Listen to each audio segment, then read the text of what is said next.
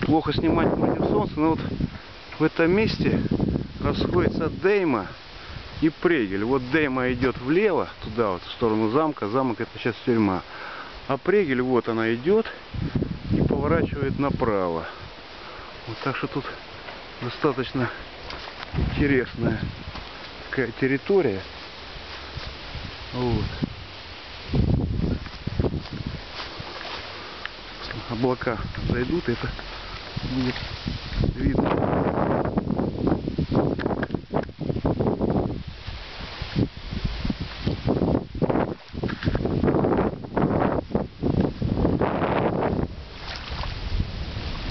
Вот это вот прегель. Вот она уходит, поворачивает. Дейма, он туда уходит, вот туда вот влево. Это вот Дейма, которая впадает в Куршский залив в районе Полесска.